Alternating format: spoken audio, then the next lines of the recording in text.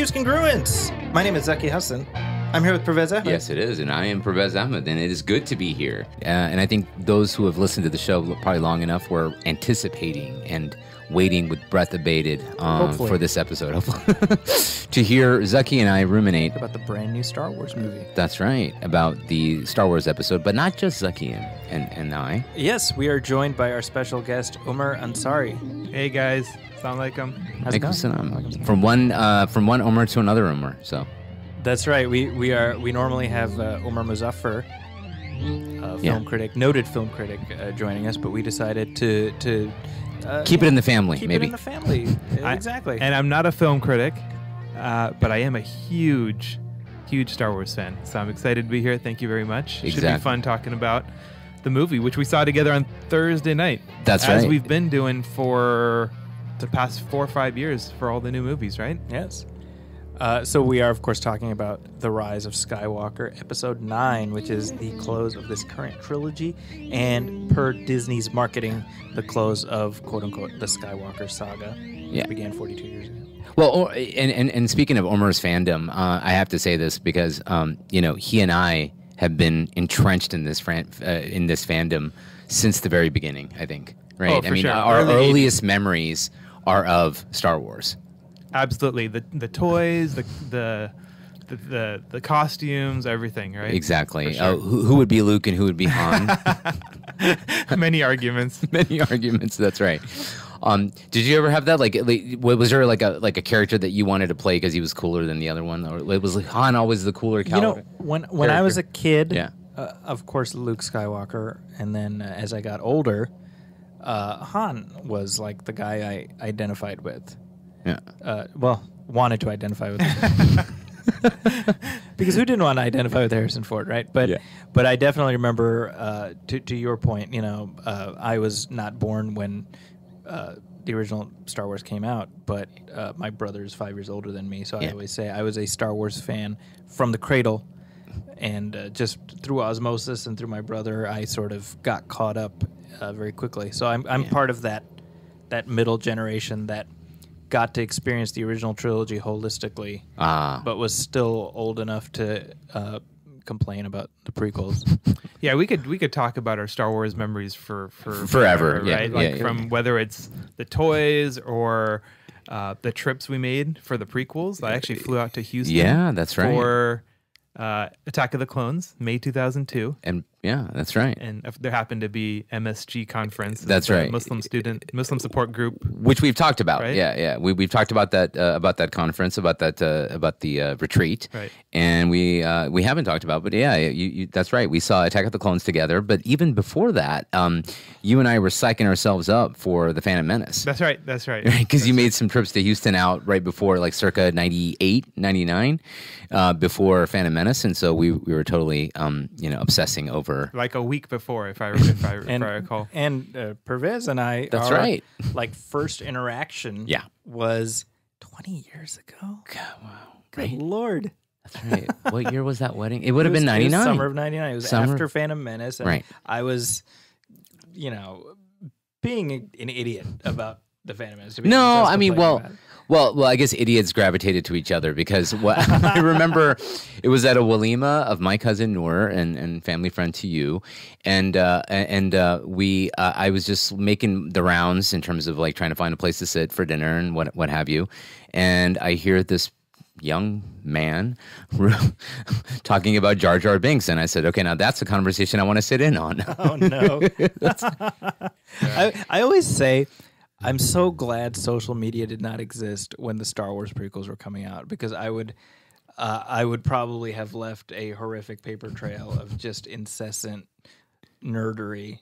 Uh, you know, which I just kind of cringe at now, you know, because I see the way people complain about these films now on Twitter. Twitter is just littered with with just people uh, constantly complaining about this stuff, and I'm like, Yeah. man, I'm glad, I'm glad there's no paper trail. Yeah. That's right. That's right.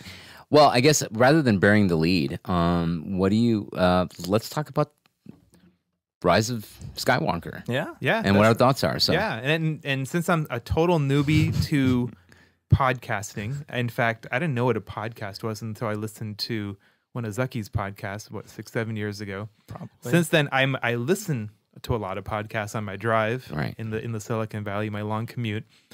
But I've never actually put on the headphones like I'm doing now and talking into the mic, which is kind of interesting, kind of cool. uh, still getting a little used to it. But uh, I did put together a little list of things we could talk about, which uh, pretty high level.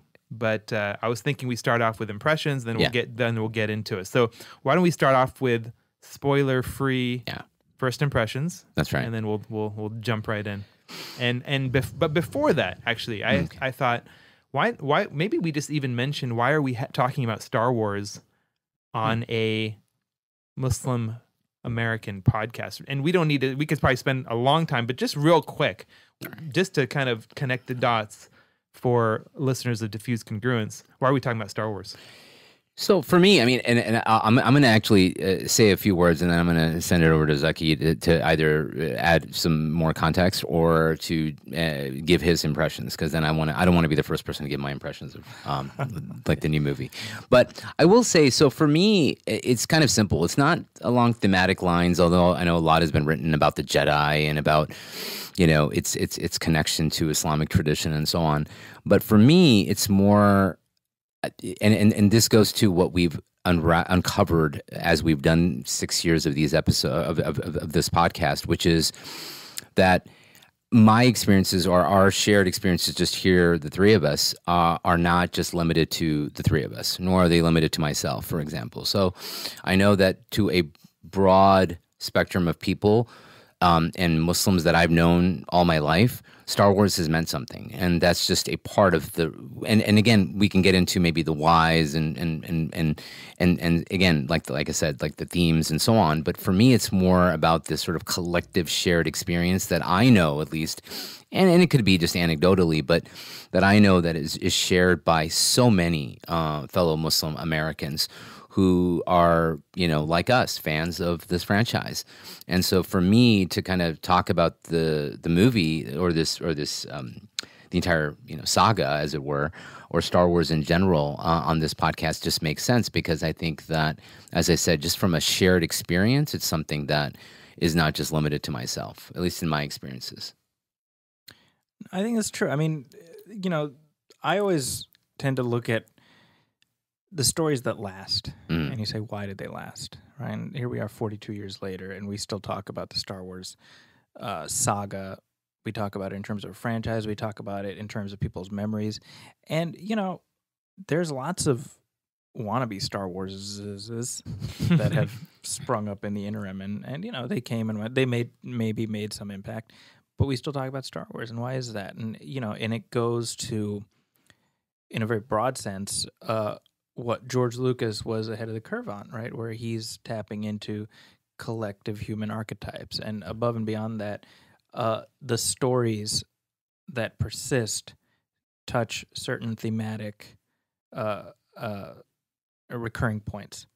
And so, you know, that's why, like, obviously, Star. Look, let's not be naive. It is a money minting machine and it is a massive Disney branded exercise. But Star Wars long preceded Disney, right? And Star Wars will exist long into the future. Uh there you know, there there's something there, right? And and I always say the things that last, we need to ask ourselves, well, why? Why do they last? And that conversation's always worth having. Yeah, yeah. Those are those are actually both different answers than than and maybe I'm giving the the canned answer, but actually to me, you know, I like I like my kids watching Star Wars because it does present good and evil and Yeah. struggle against yourself and those types of um, topics. And and a lot of the new new movies like Deadpool and and and and some of the others, it's it's not it's not quite as cut and dry. And I, I like the purity of Mm. Star Wars, but um, that's that's probably a whole topic in and of itself. But let's let's go ahead and jump into first impressions. Uh, Zaki, go ahead. Spoiler free first impression. Uh, I think it's a very good film. I think. Well, let me rephrase. I think. I think it's. It is a flawed film, but that doesn't make it any less enjoyable. So, so the analogy I make is, uh, you know, uh, Return of the Jedi is an imperfect film. You know, we can we you can pick it to within an inch of its life, but I'll tell you what. Whenever uh, I channel surf across Return of the Jedi, I stop, and there's things in it that are uh, powerful and poignant. And I think this works on that same level. And and I it gave me what I expected because that was what I walked into the theater being like, I want something that's at the very least on the same level story wise as Return of the Jedi. I got that. So uh, it's been interesting to see the you know because I saw it obviously a couple days. I saw it a day before reviews dropped, right? So that's in a way the the best and worst window to watch a movie in because you're kind of it's like you're in a hyperbaric chamber. You don't know what other people think. So i'm like i had like 12 hours to form an opinion and then you jump on rotten tomatoes and you're like wow what? You know? Um, but i liked it. I i i personally uh, have enjoyed uh, every installment of this current trilogy. So for me i thought it was a uh, effective close to this chapter So as a film critic, you're it sounds like you're in the in the forty percent of of film critics who who who, uh, who liked it. i gave it a thumbs up Nice. yeah, okay. I like that. That's right. And uh, we'll and get it. we'll I'm sorry, I was going to say, if we're talking about critical response, I think it's it's worth noting, and maybe we'll get into this a little later. I certainly want to get into it a little later, which is, you know, juxtaposing this in terms of its critical and fandom reaction to um, what we saw with the Last Jedi, the last installment in this in, in this saga, which is that highly acclaimed critically, but the audience score was. Again, if we're just talking about Rotten Tomatoes, Sure. So you saw a complete inverse in terms of um, uh, what we saw with the Last Jedi. which which I'm convinced there was a little bit of gaming going on there. Interesting. Um, I I I think there was a concerted campaign to drive down the audience score on Rotten Tomatoes, which that's not like conspiracy. For which talk. movie? For for the Last Jedi Okay. to to um you know because of course uh, you know th- that inverse Yeah. as you mentioned you know it's in the 90s I think in terms of the critical approval. I think 91 or 93 percent. yeah Yeah. So okay, we're gonna jump into we're gonna talk about the our our, our rankings Oh, later right, on. right, right. So give me give me Parvez, give me your spoiler free Yeah. first impressions, and then we'll we'll dive into it too. Why? I, I think for me, context is important. I think that uh, going in, I, I was I, I appreciated that context, which is that this was an, an unenviable, if that's right, um, and an impossible task, which is to close out not only this trilogy, but to close out a nine-part uh, saga and to close out 42 years of a legacy. So and and to close out a character who whose actor you no longer have access to. Yeah. ah, right, Carrie Fisher. Yeah, I mean, talk about unenviable. right? That's right. That's right. So I think knowing all of that, I knew that you know it wasn't going to, you know, it wasn't going to hit all of the.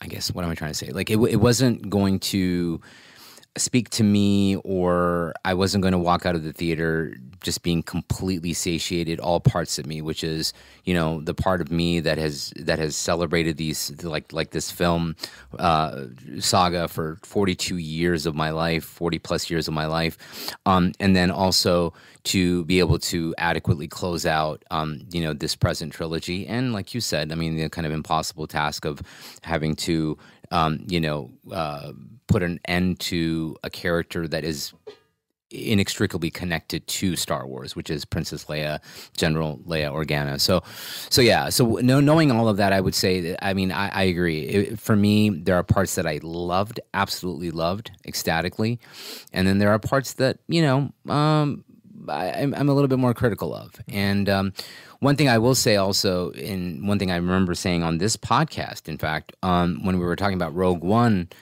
was that I finally saw a Star Wars movie that spoke to me in equal parts. Uh, the 10 year old me, the inner child, as well as the, at that time, whatever, 30 something, 40, whatever something year old me as well. Whereas I don't know if I can sincerely say that about this movie because I think this movie certainly, um, you know, pulled the chords and struck all the right nerves and chords in terms of the inner child in me. But I don't know if it fully satisfied me as a 45 year old man watching this movie. Okay. So Okay. Well, I'll give you my my take. Please. I loved it. So I really liked it the first time, and a lot of that was just processing and connecting the dots between what I saw in the trailer and waiting for this scene to come up and listen and watching and see how things unfold.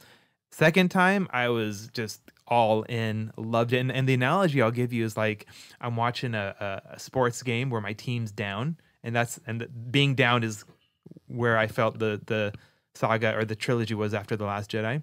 Um, we'll talk about that. Yeah. Uh, and then watching my team come back from being in a corner or being down like 30 points in the fourth quarter or being a boxer like wait you know almost down for the count and then come back and then and the first time I saw it when he actually won let's just say the the the, ga- the team won it's like watching the comeback you're in awe and you're like processing and then the second time you can actually cheer because you know they're gonna win right? Mm, mm. but no i loved i definitely loved it. It's it's up there on my on my list but we'll, which we'll get to. So so what what did you guys love? Let's let's jump into spoiler spoiler say three four five things you loved about it. Well, I, and, and I want to also call attention to something that we've sort of alluded to, but we haven't maybe named necessarily, or at least you know uh, explicitly mentioned, which is um, this movie is dense. There's there's a lot going on, and I think multiple viewings are in order. Um, now, I'm going to see any Star Wars movie multiple times, no matter what it is. I mean, I, I will say unabashedly, I saw Phantom Menace six and a half times. And I'll explain that half maybe at some later point. But, but the point is, you know, I was obsessed with it. And, and, and then in hindsight, of course, then, you know, I, I, I, I- I realized that it just wasn't going to, you know, it just wasn't going to live up to my expectations no matter how many times I saw it. But um, but I think that with this movie, you're right. I think th- I, I I also like you have seen it twice. I think Zaki has also seen it what three times. Three times. And I think it's one of those movies certainly that I came to appreciate more the second time, and I think I'll probably even appreciate it one more time. And and I think I, I'm I'm pretty sure I will see it one more time. Star so Wars, Star Wars movies can I think they should be dense. I Mm. actually like the fact that it's it's dense because it's gonna get um, unraveled as you watch it more and more. Yeah. If it was if it's too straightforward, just three simple acts, you can get bored after watching it two three times, right? Okay. But with this one, it's because it is so dense. I Mm. think it, it makes for makes for uh, future view viewings interesting. so what did you love, Zaki? Uh, you know, I think uh, I first of all, you know, it's worth mentioning. You guys know this already. Uh, the Last Jedi. I'm a huge fan of that movie. I absolutely love it. I think it's one of the best Star Wars movies ever made. And so, uh, when it came time for this one, I knew going in that this was not going to be tonally similar to that, and that's completely separate from all the internet noise and everything else. It was just like. Uh, what we saw in the original trilogy was The Empire Strikes Back went down a much darker path, and then they pulled things back a little bit more, a little bit more mainstream with the third one. So I was I was expecting that coming in. So I think that really helped. But what what I loved about it, it that those expectations helped. But what I really loved is that despite what a lot of people are saying, it doesn't undo or overwrite what Rian Johnson did with the Last Jedi. I think it it ably builds on uh, a lot of the story points that were there, and I think the two of these films really fit together well. And uh, this this goes to something I've said all along. I really hope that in the years to come, once all the you know the uh, expectations and everything are, are stripped away, and people just view this trilogy as a holistic thing, I hope they really see how effectively these two play off each other. And for all the complaints about oh they didn't have a plan, which yeah, I mean they didn't. They're, for the trilogy, they were making these up as they went. However, film is dialectical. You know, you put two things together, and whether intended or not, it creates new meaning. And The Last Jedi stacked up against The Rise of Skywalker, you emerge with a, an interesting dialogue that feeds in both directions. See, it's funny how the Last Jedi keeps every conversation, uh, even about the Rise of Skywalker. The Last Jedi, people do bring up the Last Jedi. It's such a, it's such a like a polarizing film. Yeah, It, and ki- it just keeps coming up, and and and and my analogy about the sports is, it's like to me, I didn't hate the Last Jedi. I liked a lot of it, but I did feel it did put the Star Wars franchise in a bit of a corner. Like there was really nowhere clear to go after after the movie. And some people say that's a good thing. I saw that as like again, your my team. Let's say the Warriors uh, or the Rockets for a lot of uh, Houston fans here. Um, they're down 25 points in the in the third quarter, going into the fourth. Now the team to me, Rise of Skywalker was the comeback, so I can kind of enjoy the third uh, third quarter again, right? Mm. Because I know they won the game, so I can watch the whole game now. But the third quarter had me worried, right? That's kind of how I see uh, Last Jedi and Rise of Skywalker. So, a- as someone who doesn't follow athletics at all, all I all I just heard was sport, sport, sport, sport, sport, sport, sport, sports, Fair for enough, sports, fair for sport. Fair enough. yeah, that- yeah, that's right. Um, yeah, I, I think Zaki and I are both are like the least likely to give any kind of sports analogy. So uh, we appreciate Omar coming on the show and and, Yeah. and, and al- already inundating us with sports analogies. There so you go. it's a fresh take. It's a fresh well, uh, take. Let's see if I can, maybe I'll do that when we well, have like. I, want uh, to say a couple of things. One thing I want to say is for sure, uh, guys, if, you, if a- anybody's listening out there, we're going to get into spoilers, so you've been warned. So if you haven't seen, you know, The Rise of Skywalker, watch it first, or if you don't mind it being completely ruined for you, then you you listen at your own peril. But um, because I do want to get into spoilers, but I think uh, we are I- there's a we we've already teased this conversation, and I know this may not be to exactly Omar's kind of order uh, in terms of how the like the topics we were going to probably cover. But I think now because Zaki, you've raised the issue, and Omer, you kind of talked about it, a la the third quarter uh, analogy, which is the rise of Skywalker. Uh, I'm, I'm sorry, which is the Last Jedi, and and and where that left the franchise, and then where this picks up. Because to me, as much as I enjoyed, like I said, I enjoyed the Rise of Skywalker. I think The, the it- Last Jedi, or the Rise of Skywalker. the Rise. Okay, yeah, the new, as, the yeah, okay. yeah. As much as I enjoyed it, it's undeniable that uh, it is in some ways a refutation of the Last Jedi. I think that.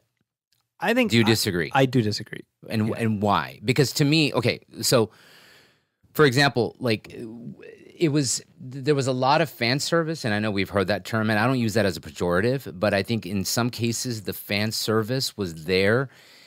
Uh, uh, practically to make up for some of the fan reaction to the Last Jedi, and the I mean, you'd have to tell me something specific. I'm- okay, so Luke, you know, Luke Skywalker and the lightsaber comes That's comes a to mind, example, right? right? So okay, so so that's actually a great example. Okay. because because so so the Last Jedi we start with uh, right where the Force Awakens left with Rey handing Luke the lightsaber. Oh my gosh, what's gonna happen? Credits, and then we come back and he takes the lightsaber and tosses over his shoulder. Mhm. Right? Okay.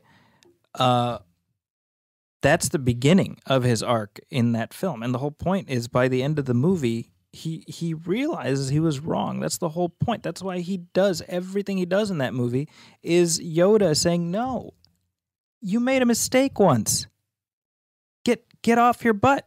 Mm. Failure. The best teacher failure is. And what does he do?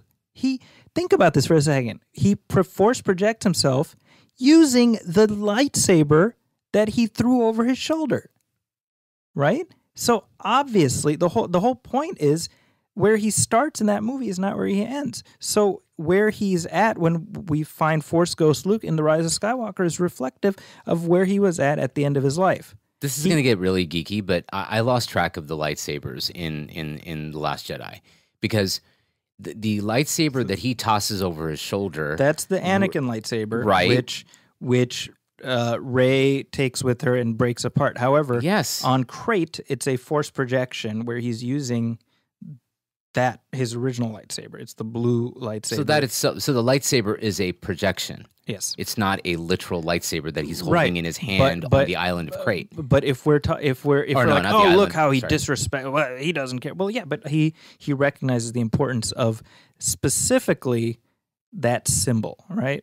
And and so this is this is kind of my point. So when we see when we jump into the rise of Skywalker, and here's Luke's ghost, and here's here's Rey about to do what she? I'm doing what you did, Master Luke, and he's like, no, I was wrong Mm. right? So that's reflective of where he's at at the end of the the Last Jedi, right? This is, I mean, the, the, it's yeah, obviously, if if if if the entirety of Luke's arc in the Last Jedi is toss lightsaber, get off my lawn, get out of here. Okay, maybe we've got something to talk about, but literally. The whole point, I mean, that's that's what the Last Jedi is about. It's about failure. It's about learning from failure. And I'm telling you, there is no more profound line to me in this new trilogy than the best failure teacher is. You know? Okay, well, I'll, I'll, I'll, I'll I want to call your attention to another line in, the, in that, that is now part of this trilogy, which is, you know, kill the past or forget your past, kill it if you have to. And who's right? saying that? The Ki- bad guy. Right, the bad guy saying This it. is but thesis, antithesis, right? To me, on a meta level, it's Rian Johnson saying it. no, it's not. Yes, it is. It's And- know, and- you- and- and you know, because- you- no, no, here- I, hold on, I can yeah. speak to this. Sure. I have spoken to Rian Johnson, Okay. Yeah, sure. and he said, "That's the bad guy. Okay. that's not what the movie's about. The movie is responding to what the bad guy is saying. He literally said this to my face. So I feel very Yes, confident but, in that. But Luke's approach also, at least till the till the very end, is also to forget the past. Right? He wants to burn down the temple. He wants to burn the temple with the text. and he's wrong. right. That's the whole point. So it's Yoda- not just the bad guy. With all due respect to Rian but Johnson, it, the, no, obviously, but the Right. film is a, is refuting that, right? That's the whole point. Is think about it. When when Luke shows up, he he makes himself look younger, right? So it's it's about preserving the legend. About he remember he says, "And I became Luke Skywalker, the legend." Mhm. And then and, and what do you want me to do? Face off with the first order with my and what does he he does Laser exactly sword. that because the legend matters. It's important. Right? Mm. it's worth preserving and we see that play, pay off not only in that film but in the next film and that's why it's so important i think i think even when we uh talk forget luke because ultimately he's a very small part of this current story but when we look at the the story of rey's lineage everything that happens to her in the last jedi is it's paid off further in this current film it's not it's not refuted Yeah, yeah. You know, I'll, I'll jump in. I, Yeah. as somebody who, um, like I said, was concerned after the Last Jedi. I, I didn't hate it. I I, lo- I loved parts of Mm-hmm. it definitely, but I don't. I actually don't think it was um, JJ stepping. You know, undoing. Mm. Um, number one, because he had to start writing the script before Last Jedi came out, so it's not like he had to. He wrote it f- completely That- after that is true yeah. right? So that's number one.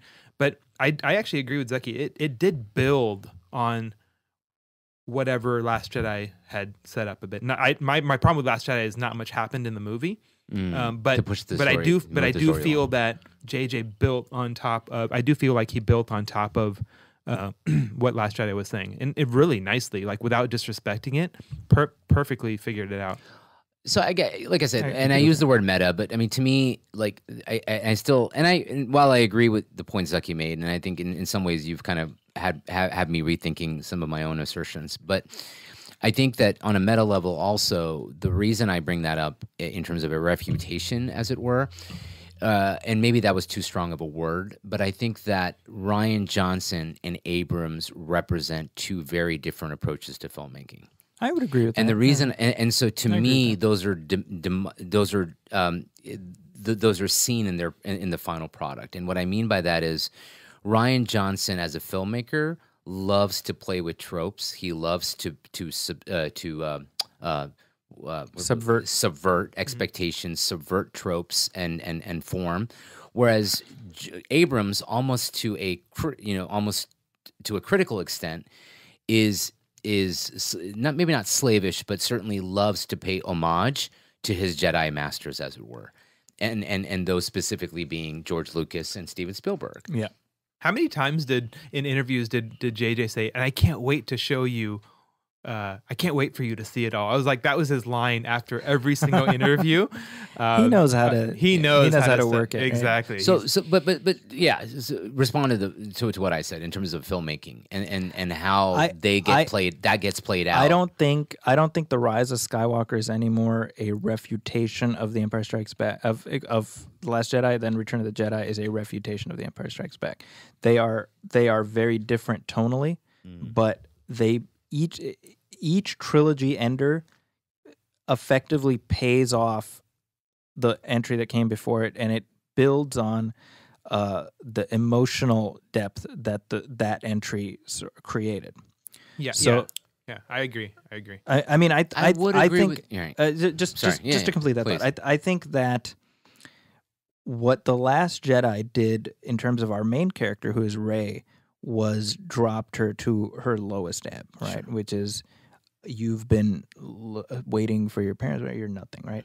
And and so you can say, oh well, this one does whatever the hell that does. uh, This new one does, right? But uh, are we getting into spoilers? No, Yeah, yeah, yeah, yeah, so- Okay, this next one is like, oh, turns out you're actually the emperor's granddaughter, and w- the reason I like that, and I don't think it, it it's uh, it's a refutation of that, is it's even worse Yeah, than what uh, happens in the Last Jedi. It's like, no, no, you're not nothing. You're Hitler's granddaughter. Yeah. I'm like, oh God, can I be nothing, please? yeah. Can I go back to being nobody? Mm, you know, yeah. it's even worse. Sure. And and that particular revelation on the one hand, you can wince at it, be like, "Oh my god, come on, Right. are we doing this?" Right? Right.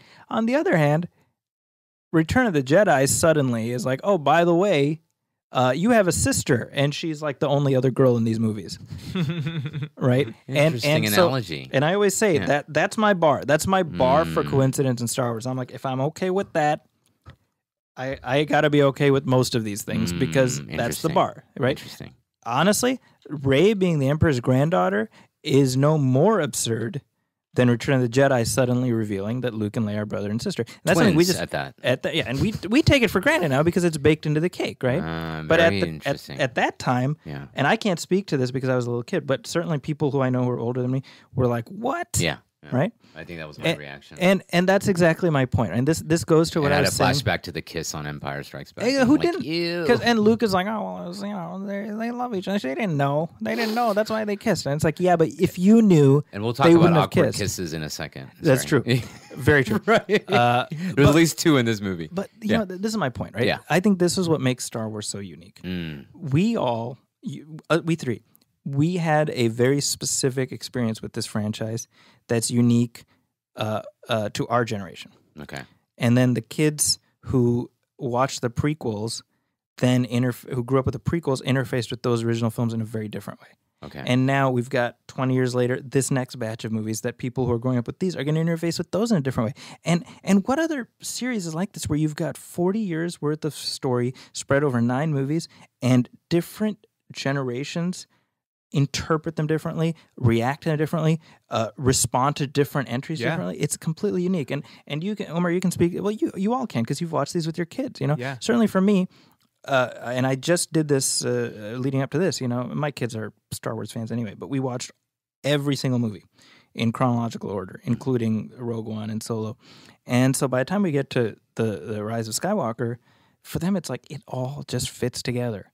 And there's no contradictions and gaps in the story. There's nothing. Everything makes sense because the stuff that doesn't make sense, they can just talk through and come up with their own explanations for. And that's part of the experience. Yeah, absolutely. I mean, I have two girls, Yeah. and they absolutely ref- relate to Rey more than any other character. for And sure. in fact, this is kind of funny.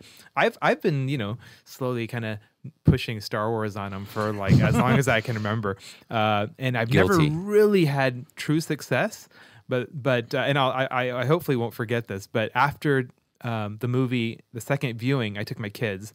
Uh, the movie ended, and my seven-year-old looks over to me and go, goes, "I love Star Wars now," and that just absolutely made made the whole thing worth it for me.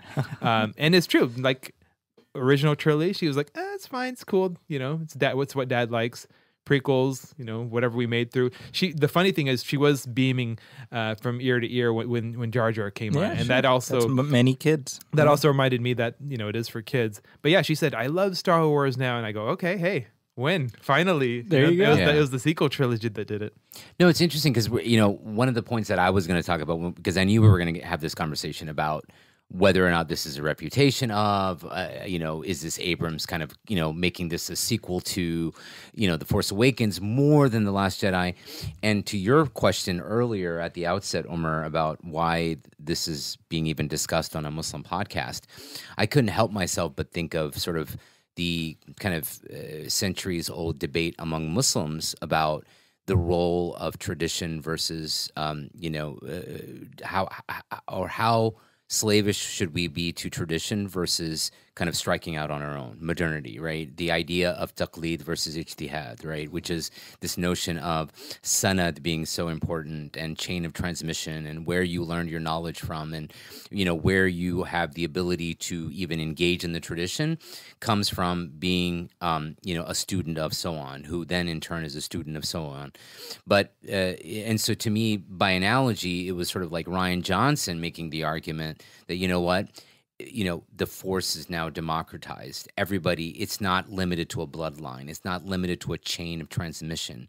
Um, and, and and that was the argument that uh, johnson was making. Whereas i think abrams to to not only with regards to his own sort of the way he likes to pay homage and tribute to his Jedi masters, is much more in the other camp, which is that we should carry on tradition. We should, you know, tradition is important, and so I think that's where I was going to try to make try to make some sort Well, of an I, I love that. I could what you- the thing you just mentioned. I think is just the heart. That could be the, the rest of this podcast. This is an awesome topic. I I actually love uh, how JJ did it because I think he did it perfectly. Right by keeping the connectivity between the generations. So there was a handoff. And one thing this movie did amazing was use the original trilogy characters. Each one of them, Leia, Han, and Luke, each one was pivotal Lando. uh, and Lando actually, yeah, but even even Han, right, with with Kylo, Mhm. was pivotal for Ben Ben and Rey to be successful in the end. In this one, Very mo- interesting. really pivotal, right? So so they true. really were key in this movie. and I thought they were handled amazingly, Mm. and at the same time, she ended up not being blood blood relative. But she she kept the the isnad, if you will, right? So she he he actually he actually played that really nicely. Mm. And one thing I want to say, I had this on my list of mental mental notes and things. One thing I loved, um, that's the thing that I loved, and you know, uh, a lot in this movie, among a couple other things, was the use of the original trilogy characters. Hmm. I was really like feeling after the first two movies, I'm like, I didn't get the original trilogy characters, but after watching this one, I felt satisfied because Leia was critical. Uh, Han was that was an awesome scene. I loved it with with Han coming back. Probably my favorite, one of my favorite scenes in the movie. certainly. Yeah. And then Luke, even his Luke's thing, like she would not have gotten. Yeah.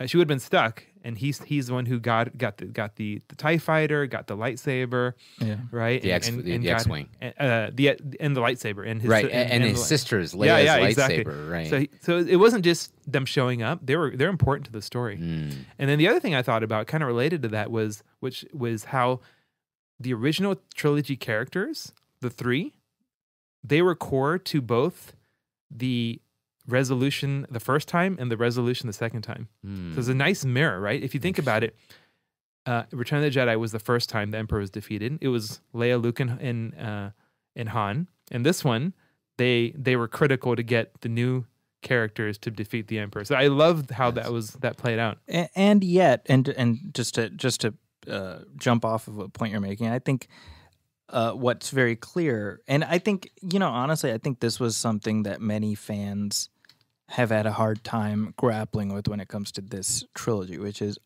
it's not about those original characters you know and i you know certainly for me i've said this before either on this show or the other one but uh about halfway through Last Jedi, I was like, "Oh, this is Girl Meets World."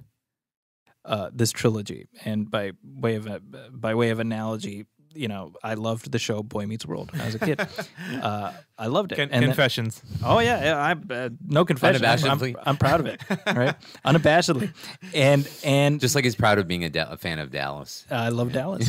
I loved the new Dallas. I could m- make the same analogy actually. But anyway, so so Boy Meets World. Uh, a couple of years ago, they were like, "Oh, we're gonna." They're doing a sequel to Boy Meets World called Girl Meets World, and it's gonna be all about uh, Corey and Topanga's daughter and her adventures in school, whatever. I was like, "Oh, Boy Meets World is great." And then and then I watched the first episode of Girl Meets World, and I'm watching Corey and Topanga, and they're like, "All right, honey, have a good time." And then we follow the daughter, and I'm like, "Wait, I, what are what are Corey and Topanga doing?" You know, I'm like, well, they're and they're in the other room doing something, but we're following the kid. And I was like, "Oh, wait, this show isn't aimed at me. Like, I'm not the main audience, you know." And so for me, the, a little bit of that's what I realized during Last Jedi. I was like, it wasn't so much this isn't aimed at me, but I was like, this isn't about those characters, and I just that's me. That's my set of expectations. So with this one, uh, it really focused in on the new characters in a way where the the original characters had their part to play, but like Luke is in it for like a scene, Yeah. right? So Mhm. he's Alec Guinness in Return of the Jedi.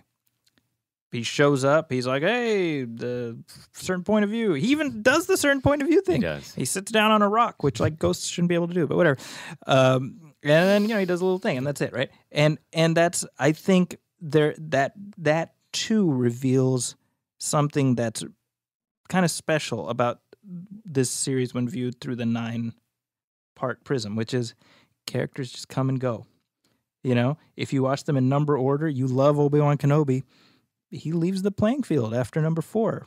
as a as an active ingredient. You know, you love Han Solo. He leaves the playing field after number seven. You know what I mean? It's like that's life. I, I that's think you're, life. I think you're 100 percent right. I think myself and a lot of fans had, had a hard time with that because we Yeah. had the the Mm. stories course. of, of the of the characters Yeah. after Return of the we Jedi. had in our 30 years of those characters being the focus of Star Wars. I, I actually didn't even fully accept that until Yeah. about an hour into the Rise of Skywalker, where Really? where there's no Luke, Mm. and I'm like, he's really not going to be in this movie. But you know what? I'm still loving this movie. And the the second thing, and maybe we should talk about it. The second thing I loved about things we loved about the movie or Sure. didn't like. The second thing I loved about it, uh, aside from use of the original trilogy characters, was I loved.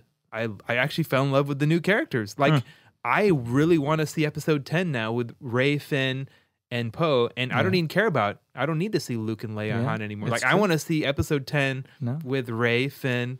I actually fell in love with the characters in this movie. Yeah, well, no. And that's an interesting point you made make about falling in love with these characters in this movie, Hmm. because to me, in contradiction, like in, in in contradiction to or or, uh, like go, if you if we if we if we look at it by way of comparison to the original trilogy, you fall in love with those three char- like the three main leads from the very beginning, from the jump.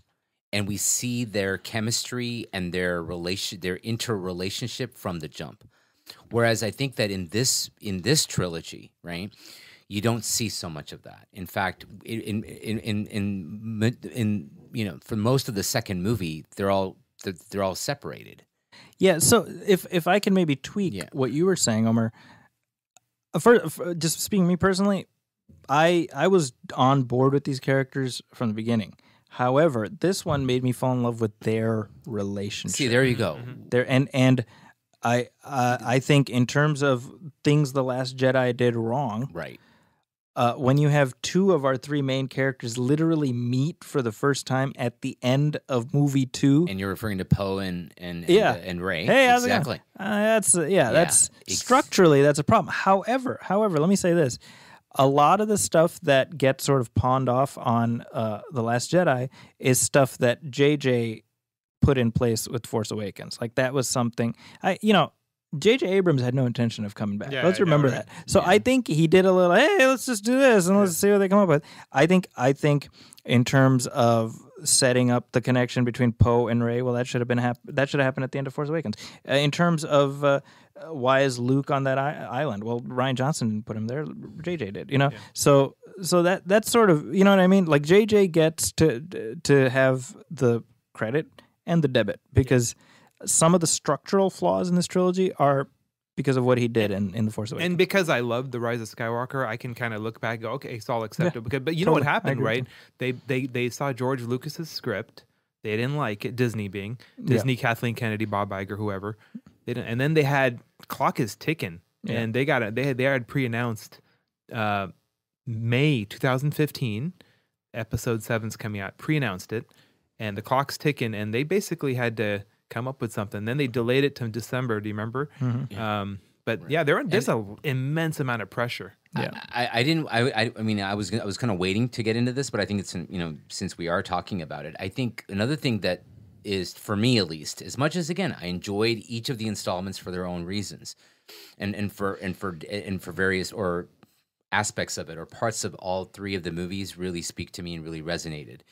However, I think what was what is also demonstrably true with the new trilogy is that it lacked a sort of creative vision or a roadmap Of course. Yeah. right? I mean, you know, if we're, if I'm if I'm going to compare this to another Disney property, I'll um, you know, or, and I'm speaking I'm speaking specifically about Marvel. Kathleen Kennedy, I think, you know, bears some responsibility for not being the Kevin Feige of this universe, But Right. but I agree with you. But which you know, is which is um, what what uh, I'm sorry, I didn't mean to, but like No. because what what what Marvel was able to do over the course of 11 mov- I'm sorry, 11 years and 22 movies, in spite of the fact that you had different creatives coming in and, you know, taking the helm of those movies. In some cases, of course, you had repeats, but m- by and large, you had various cooks who would come in, add their ingredients, and leave. Um, in this case, you know, or or in, in the case of Marvel, you still had this sort of creative, you know, omnipresence of Kevin Feige, and here you didn't have that, and so, you know, and it, I think if you had that, I think Abrams doing what he did at the end of Force Awakens and then Rian Johnson doing what he did, there would have been at least sort of a creative. There would have been some creative control, and I think that a roadmap, or the or the lack thereof in this case, is to me kind of apparent. And, and and and to me, no bigger demonstration of that is than the return of Palpatine Sure. Yeah. because it was like he did away with Snoke, Rian Johnson, I mean, in the end of or in in in, in the Last Jedi. Um, and so where do you go from there? Who's the big baddie? And you know, so for me to be convinced of this idea that it was always Palpatine and it was always going to be Palpatine returning Right. is a bridge too far. And I don't think even And It's like Abrams, poetry. It Well- repeats itself. I'm saying even Abrams can't convince me of that, of where things left off, even with the Force Awakens, eh, because there's no hint or clue of Palpatine's presence. and and you know what's interesting? This is, is that the mystery? Sorry, is that the mystery box that people refer to when they Yeah. talk about Abrams? Yeah, he's Mr. Mystery Box. Yes. So Right. what is that? It's just it's it's ooh, you got to keep watching to see what's in the hatch or what's in, you know. Right. And and that's this is the fundamental problem with The Force Awakens, which is a movie I, I I'm fine with. But too. it's it's like it's like it's like one third of a movie. And I don't mean one third of a trilogy. I mean it's one third of a movie. Because Mm-hmm. where that movie ends should be like end of act one.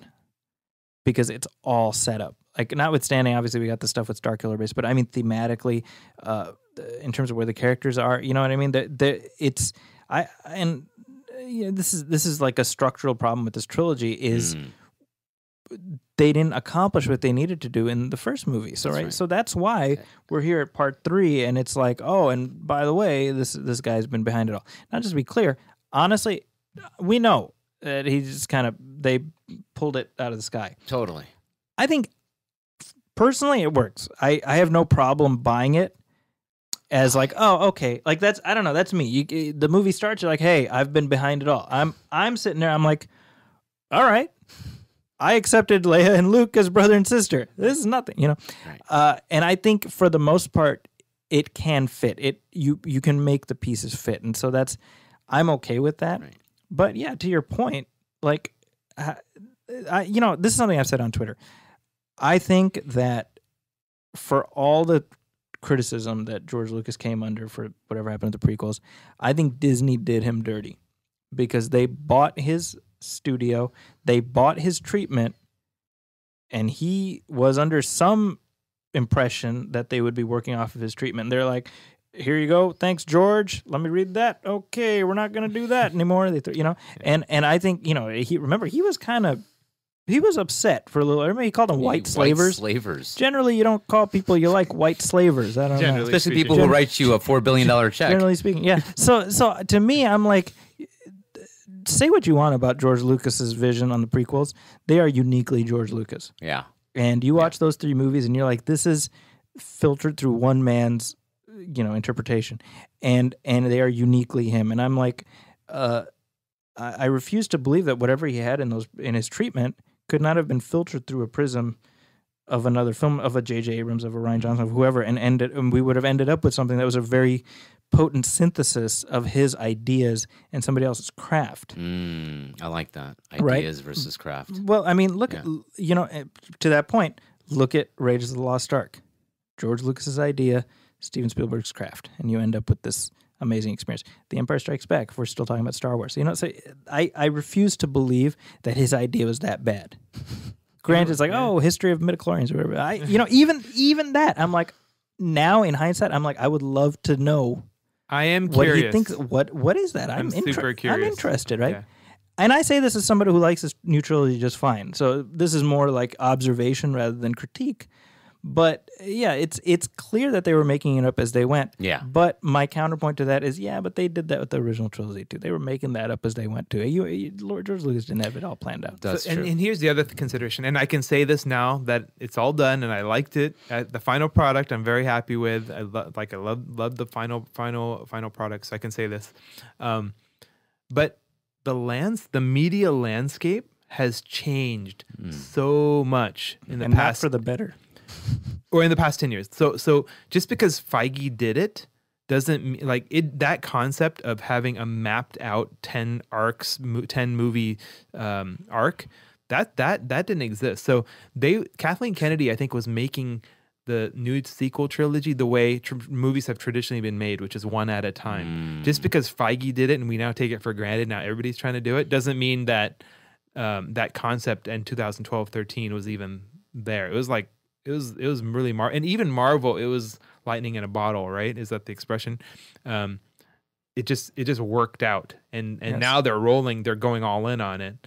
But they got, And- there was a few lucky Well, turns to there. me, that lightning in a bottle is is compar- is comparable to the original trilogy, right? Things worked, even though you know on paper these things weren't supposed to work. Yeah. They worked, right? And then the- with Marvel, you're saying? No, I'm saying with the original trilogy, Oh, a la Mar- Marvel, like where you had, you know, this this uh, it was this passion project of George Lucas's, which was the original movie that became this huge blockbuster, and then he had to craft a three part movie out of it or, or three part story narrative, and and he did so, and he had different directives, and you had people ad libbing lines like Han, you know Harrison Ford, and it all worked. It all worked somehow, and so that to me was kind of lightning in the bottle. and and yet you know the, the the amusing thing is like the critique now is like oh disney they've just m- Yeah. merchandised it and they're just out to make toys and m- make money off of merchandise and i'm like y'all used to say the same stuff about george lucas Yeah.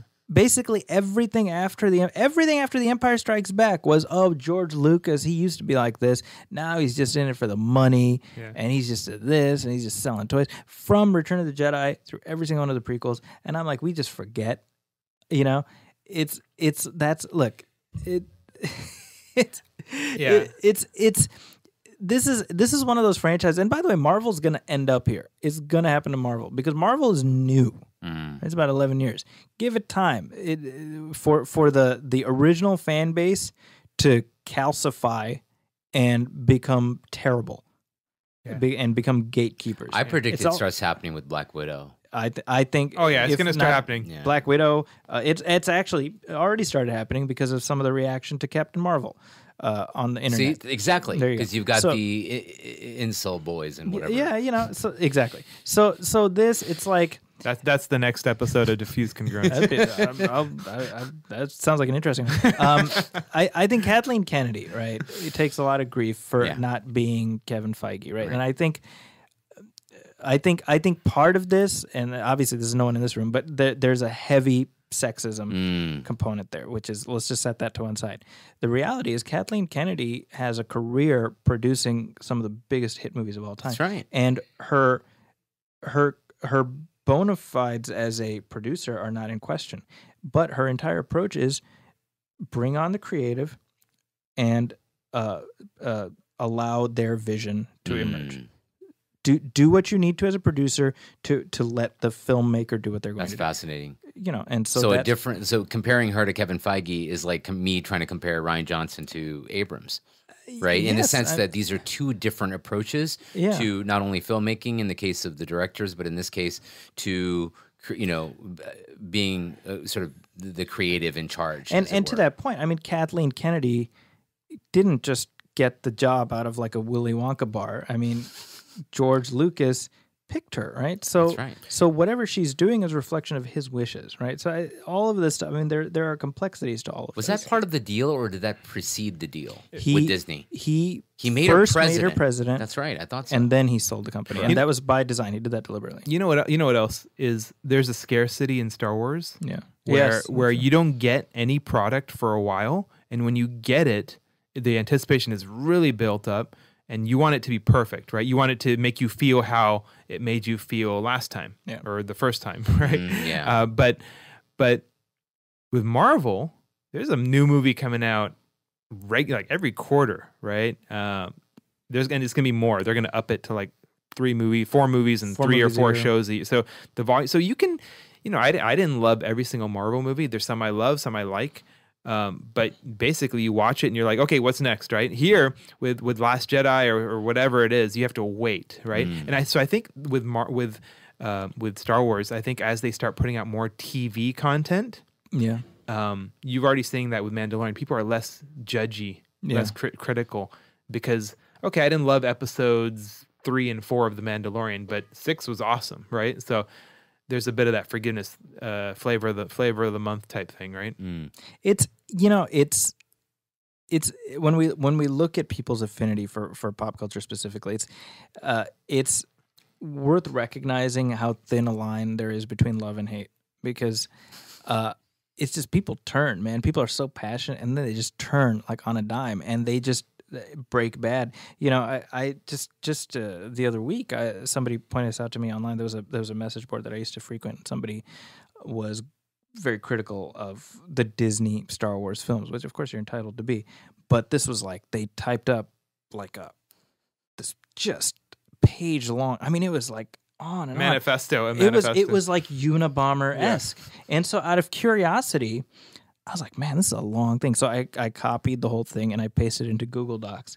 And it was eight pages long, four thousand one hundred words wow. about how much they hate Disney's Star Wars. And I'm like, what is it like to have that much hate for this thing? Like That much like, time. How and much- that much time. I was gonna say. It's- I mean, it all- I, I, it all- I envy that. I mean, you know what I mean? I'm like, I'm like, I don't, I can't even write. I get paid to write. I can't true. do that much, Yeah, you know? Yeah, I think you more so than the two of us. hilarious. Yeah. Like, you know, I mean, four thousand words. That's like a, that's like a, a master's thesis, you know? That's it's hilarious. and it's and my point is this, like, the, it's this Star Wars is one of those franchises that tends to bring this out because people have this very personal affinity for it, right? Yeah, of it's like course. the, this, uh, this was how I, uh, you know, interfaced, Engaged in- in- engaged, yeah, right? yeah. And and therefore, this is how it's supposed to be, quote unquote, supposed to be.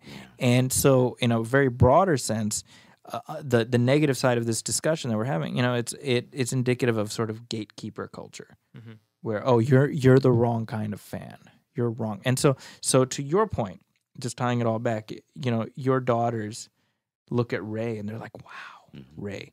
And yet, what was the co- as soon as this series started? Oh, what a Mary Sue. Mary Sue, right? Which is which for those of you who don't know, like that's a pejorative term for a character who is deemed as like perfect or overpowered or whatever.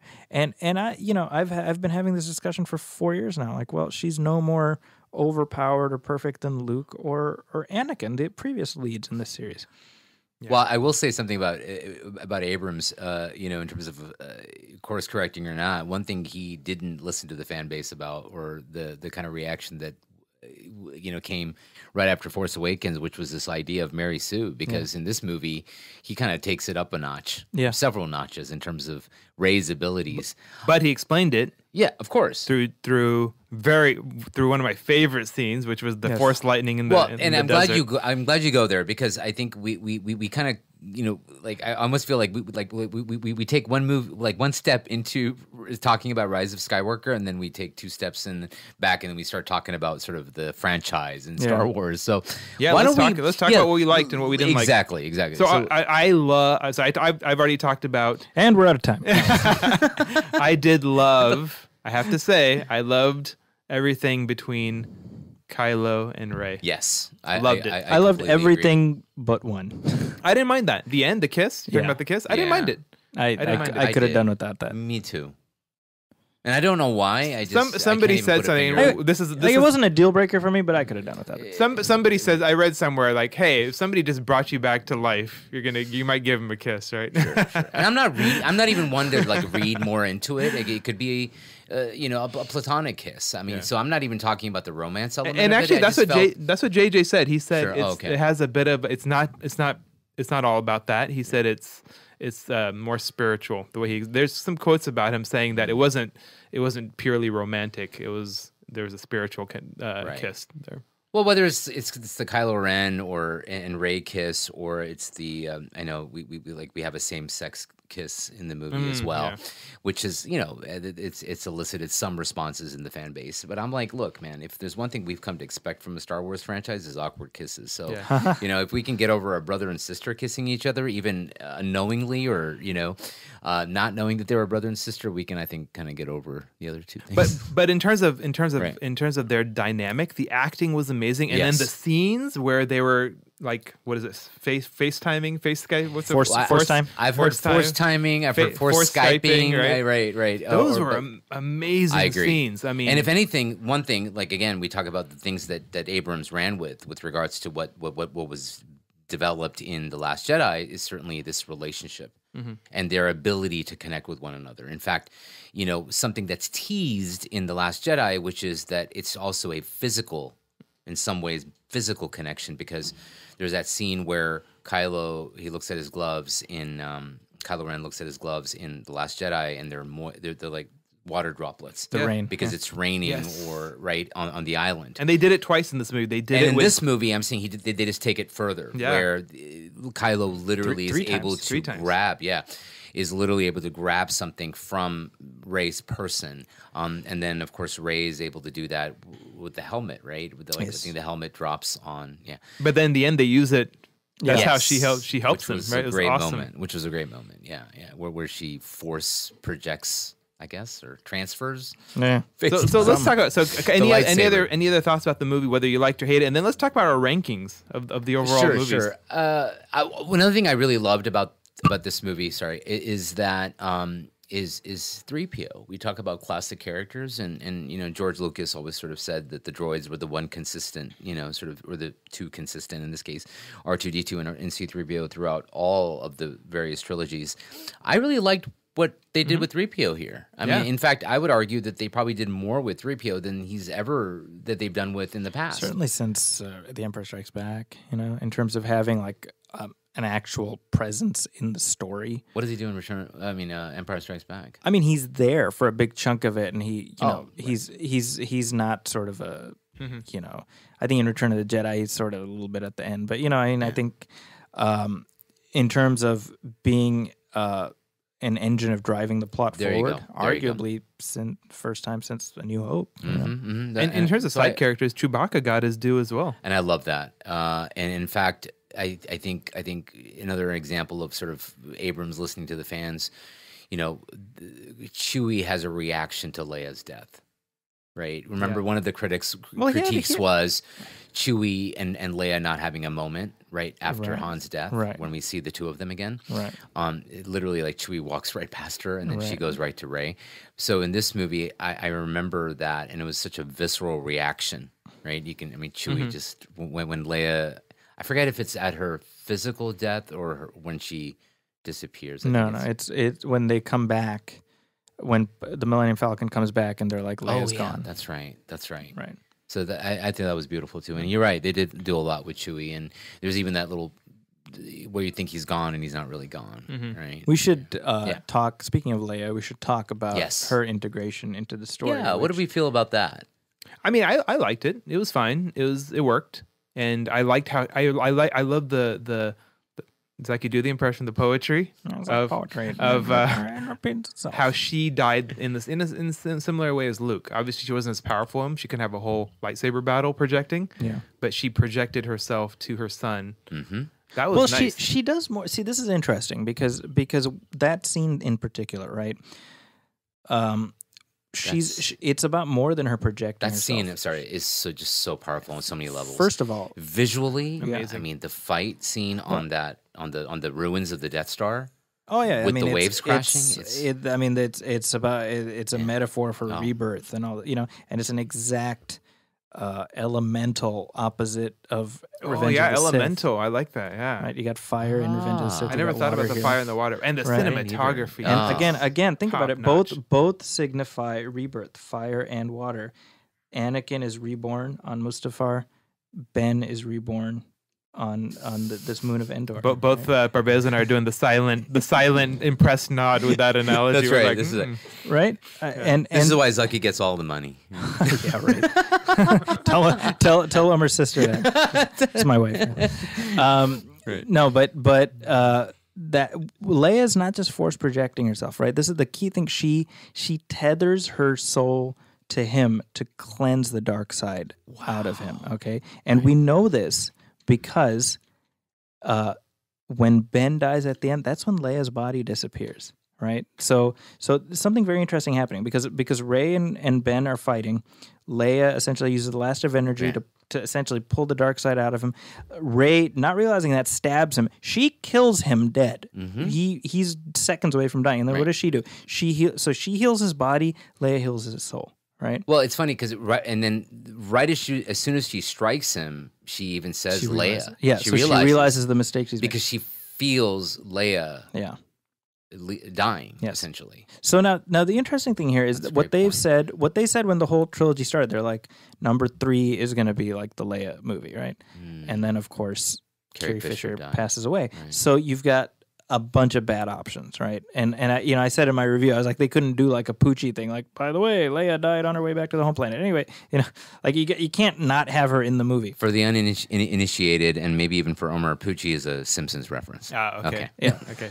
I, I'm outnumbered uh, between the two of you and my wife. Uh, right, yeah, I, uh, So so it's again, and you couldn't recast. So you've got let's work with what we have. Yeah. Ho- however, and I'm very curious how this is going to appear decades from now, Mm. more or less obvious. But uh, I think I said this on my other podcast. She seems like a, like a non-playable character in a video game, Yes, that's a great analogy. right? Like Yeah, I, I, The- I, felt the same way.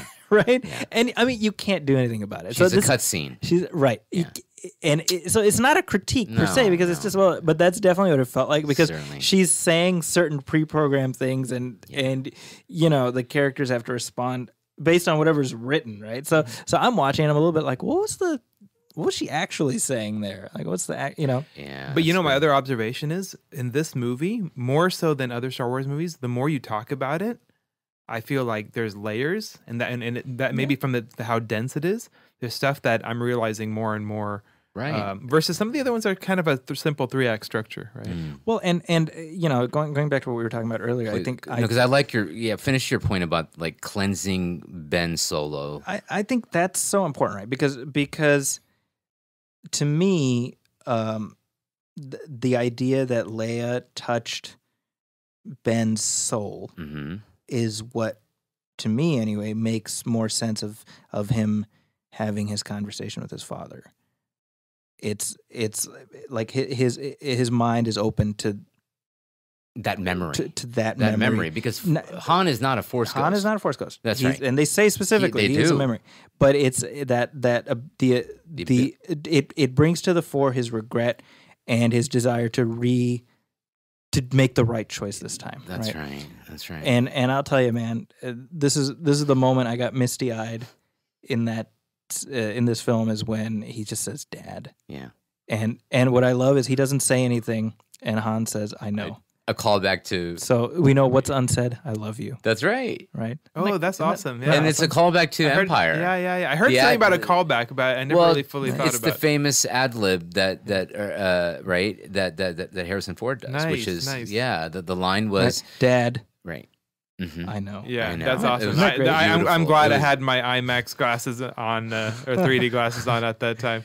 But And- no, that and- was and a Yeah, great you know scene. It was a great I, scene. I watched Force Awakens in you know when it came out, and I'm like, as soon as he d- does a shish kebab to Han Solo, I'm like, this guy needs to die. Yes. I hate him. I can't stand him. That's right. No redemption. And then, uh, you know, halfway through this movie, I'm like, come on, Ben, come on, man, you can do it. Oh, Adam That's- Driver, Adam Driver. Yeah, I mean, he right. th- when he was uh, almost killed by Rey, right? Yes. Or the acting where he's just sitting there Mm-hmm. and the rain and his hair is wet and he's not like overacting, No. but he's got this like look on his face. Yes. It was amazing acting. And there's something in his performance where, like, to your point about how by the end of the movie you're like rooting for him, which you've never done uh, up until this point in any of the movies. Yeah.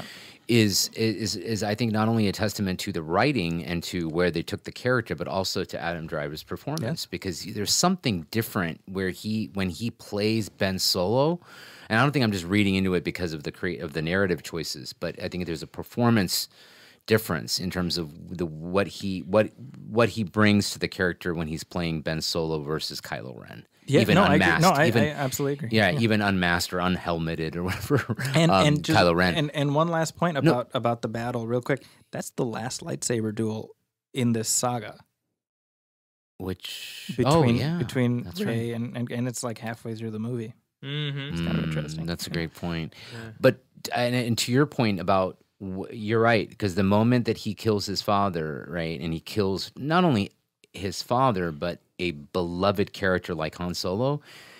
to me, the doors of retribution, or the do- sorry, the yeah, the uh, Redemption. redemption. Sorry, Yeah.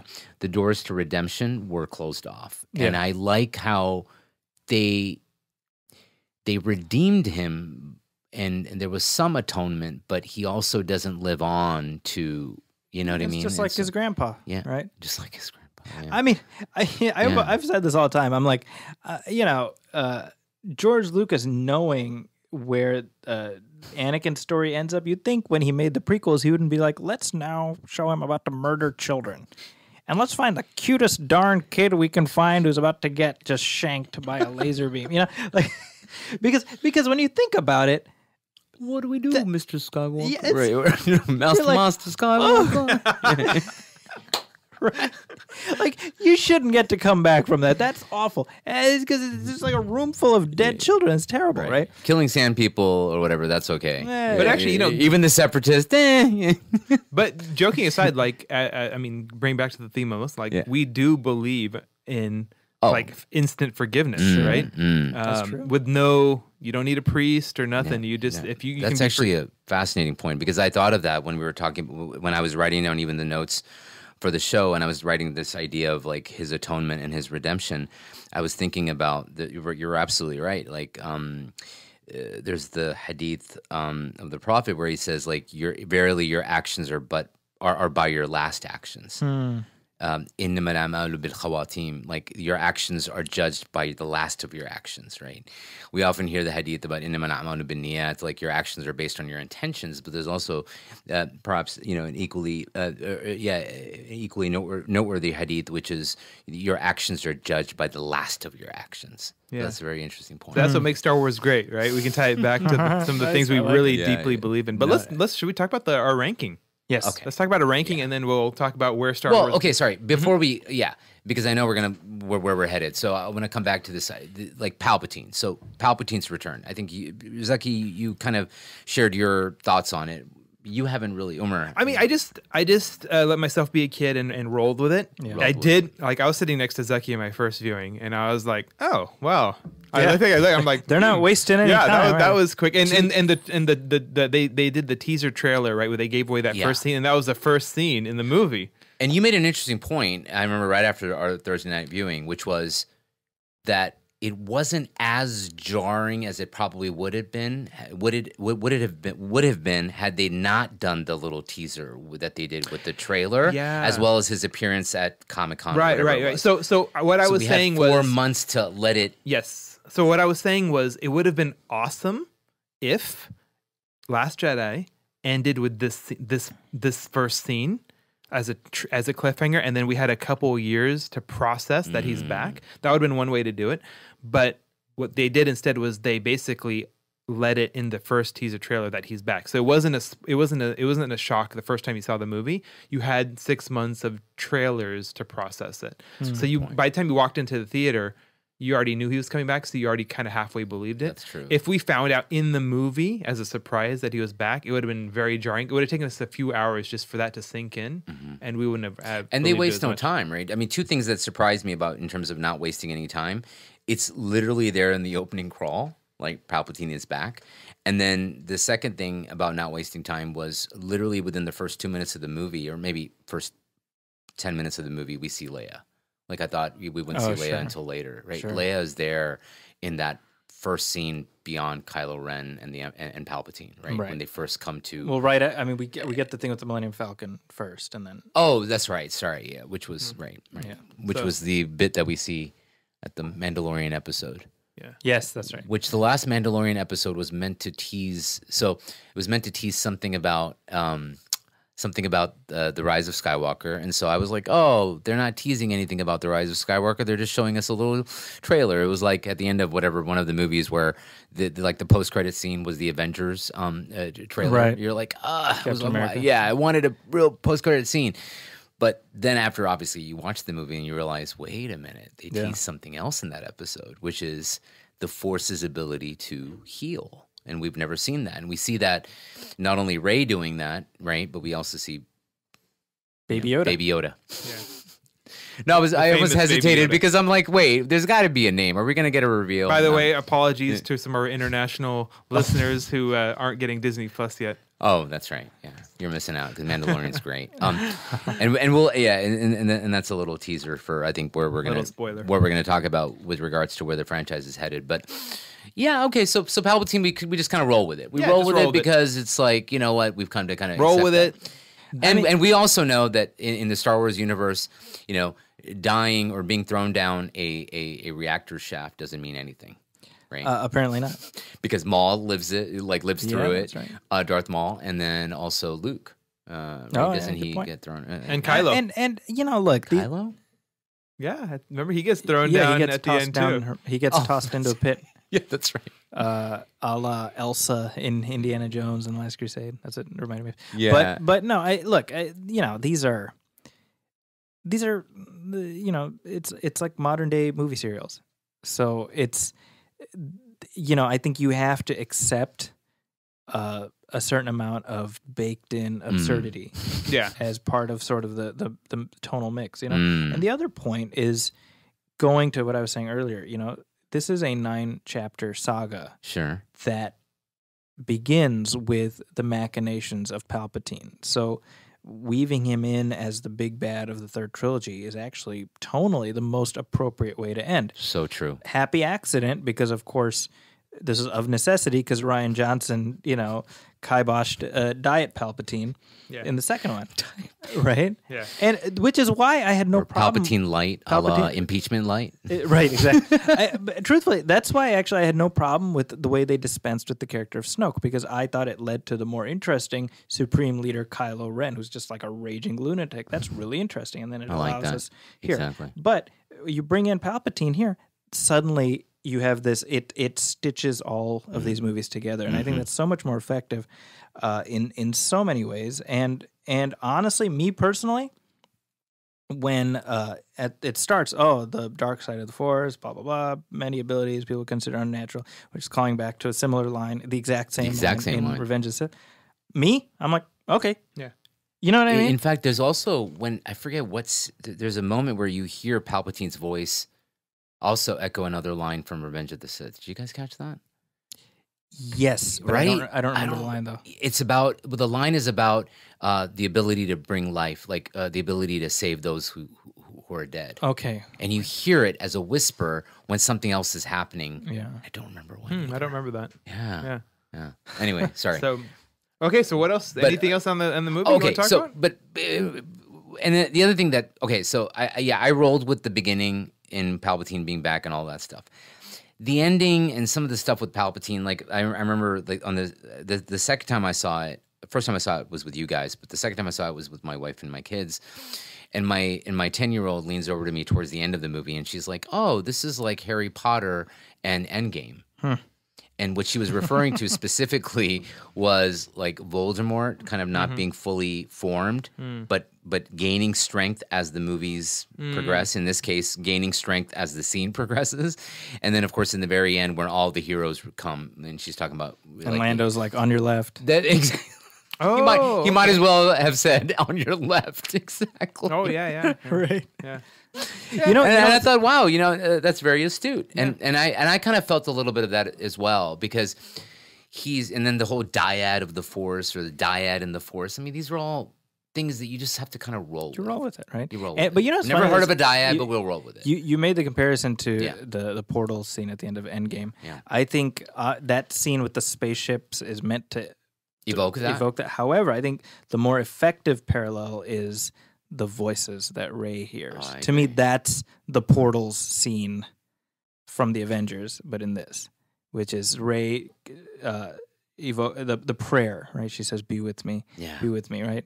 Uh, and then she connects with the Force, right? And it's all the Jedi That's- who have communed with the Force. That was nice. That was beautiful really because nice. what I didn't catch the first time, and even though I obviously heard the line and everything, was that's an immediate callback to what you see when we first meet Rey um, training with Leia Yes. in this movie, which is she's meditating and she wants to connect with the voices of the past, Yeah. and she's and she's unable to do so. Yeah. But at the end, she is, and she connects with. And what I love who do we hear? I mean, I, I know. I mean, so just going down the Yeah, list. I mean, I mean, we hear the first person we hear is Ewan McGregor yes, uh, as Obi Wan Kenobi. Young and he Obi-Wan says, Kenobi. These are your final steps, which is in in The Force Awakens, we hear Ewan McGregor's Obi Wan Kenobi When say she these touches the your, these are lightsaber. first steps, Exactly. right? Uh, we also hear Hayden Christensen as Anakin, and he says, "Bring balance," as I did, or something to that effect. Which Yeah. I'm like, well, Anakin, not for nothing, but uh, Yeah. you did a lot of other stuff too before you brought balance there, Chief. you know? But uh, we hear Mace Windu. Uh, what is? Oh, we hear Sam Jackson. we hear Sam Jackson. We hear Qui Gon Jinn. yes, I caught that the Uh, second we time. we hear Yoda, of course. We also hear uh, Kanan Jarrus, who is the lead character from the Rebels animated series. Uh, Freddie Prinze Jr. Uh, we also hear uh, Ahsoka, who is another character from the Clone Wars series, and she Mm. was Anakin's apprentice. And my kids pointed this out, so they're because they're they love this show. They're like, "So Ahsoka's dead," and I'm like, "Yeah, I guess so." Sorry, She's one with the Force now, One of the son. Force now. yeah. we'll, we'll need Dave Filoni to address that. We also hear um, uh, Luminara, who's voiced by Olivia d'Abo. We also hear uh, Aayla Secura, who's the blue uh, Twi'lek Jedi. We see her get killed in Revenge of the Sith, but she's a character in the animated series too. So there, and there's a few others in there, I think. But uh, for me, as a fan of the TV shows, I was like, oh, wow, that they're really you know stitching that in. But Qui Gon Jinn, come on, think about that. Yeah. Like we haven't heard Qui Gon Jinn's voice since episode two, Yeah, that was great. right? Yeah. And I, you know what's funny? is I've had this weird relationship with the prequels, but I'm like team prequel now, Oh, and I really am. And so anything that weaves those films into the fabric of this story, I am all on board with because I truly, I think these three films actually make the prequels a lot richer. You know, I have to. I have to agree with you. Yeah, Yeah, I, I've, I've my. I mean they are flawed. oh, Don't get me wrong. yeah, flawed in execution, but I think in but not in terms of concept. that's right, not in concept. And again, to my point earlier, at least what the prequels did have was it was a cohesive vision. Yeah. Now you can disagree with again the vision and the execution. You can Right. disagree about a 1950s style diner existing in the Star Wars universe. You Strangely agree, enough, dis- I or- actually or- really like that scene, but that's all or right. road racing. You can right? disagree with death sticks being like a thing. You can disagree with a character being called uh, Elon Sleaze Bagano. You don't need any death sticks. Yeah, but you know what? I'm down. I'm okay. But but my point is, Yeah. uh, you know, and and just to dip back into Last Jedi very Yeah, briefly, sure. when when Luke is talking about the events of those films, and he says the legacy of the Jedi is failure. Mm. They allowed this to happen. I mean, he's not wrong, right? And and it's all it, that's all textual. I think that was Lucas's intent. The it, the intent f- of Lucas with the prequels is not oh look at how the Jedi got brought down by this. It was the Jedi let themselves they they they brought their own order down. That's by design. So so it all fits. It all connects. So what? Okay, so does this all? Does this also fit? Which is, to me, the end of the the end of um, Return of the uh, the end of Last Jedi was this idea, and not only the end, but kind of what's teased throughout, or what is a what is a narrative throughout the movie, which is this idea that the Force is not connected to bloodline or blood. the Force is not just connected to bloodline, and that's still out there, right? There's the end of Last Jedi plus what we see in. with Finn. that's what I'm saying. So Well, let's talk about that because Finn is. It's been what I mean, it's pretty clear that You've said well, it's clear, but you've said that, uh, or you, you, both of you, we were talking off mic earlier. Abrams has gone on the record as saying that Finn is force sensitive. yeah. Yeah, I like that. I like that. In fact, The feeling he has yeah. a I, feeling. I really want to see, like like I said, one of the successes of this movie is that it actually made me interested in seeing at some point an episode 10 Mm. with these characters. I don't even need the original Wh- trilogy. which is going to happen. but it, it'll happen. Sure thing. and and the good thing and and he can play around with this idea right uh, and there's a ton of you know there's a ton of stuff you could do the fact that she's a skywalker is interesting um, the fact that well, I want to talk about that. the fact that we, the, there's no there's no relationships like she doesn't have a relationship uh, you know between two characters like a romantic relationship that could be uh, explored um, so there's a ton of stuff that could that they could do which would be really interesting right and Yeah. and, and, so speaking of like uh, her not being a Skywalker, but kind of being a Skywalker because that's the last line of the movie, um, which is why couldn't she redeem the Palpatine name? Because again, it's like being Larry Hitler.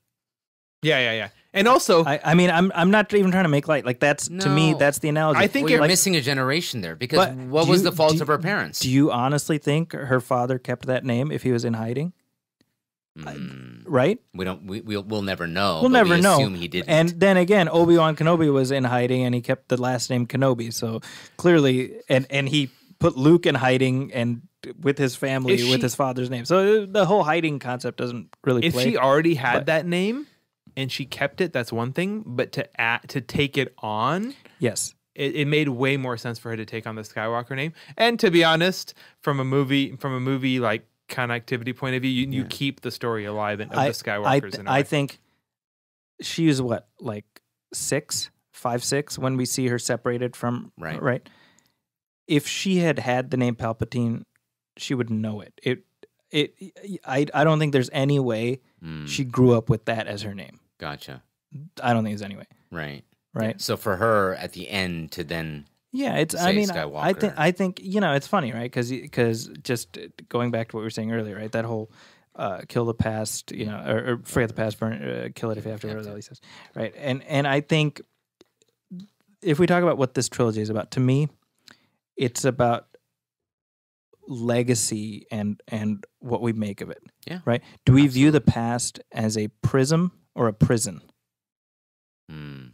Which, hey man, like what we teased earlier, which was, I mean, that's a philosophical conversation that is, you know, that is a part of Islamic tradition for the last Yeah. thousand plus years, which is, you know, where what it like like like you know, there's the akal and the nakal, right? There's the tradition, and then there, you know, applying intellect to it. Yeah. There's ijtihad versus taqlid. I mean, these are age old conversations, even in Islamdom. So Yeah. Fascinating and you and, say that. and and you know j- just to just to add to that uh, this whole notion of oh uh, you know the J.J. Abrams brought back in the force about bloodlines and this that yeah but he uh, you know the whole question after the Force Awakens oh is she a Kenobi is she a Skywalker well now we find like now she she finds out she's part of a legacy she doesn't want to embrace she wants to run away from Mm. right and so now it's it what's in her blood but this this darkness and she's choosing well i'm not i'm choosing to reject that part of who i am.